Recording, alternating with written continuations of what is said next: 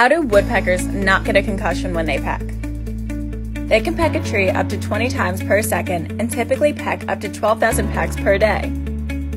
Woodpeckers repeatedly whack their heads against trees with a lot of force. They hit their heads with a force 10 times that of a concussion inducing football tackle. So, how can woodpeckers peck with so much force without injuring themselves? Well, a woodpecker's anatomy is specifically designed to absorb this force and prevent the woodpecker from getting injured. Its specialized beak and skull direct most of the energy associated with this force into the rest of its body, so its head only takes a small percentage of the force. This protects the brain and prevents concussions or injury.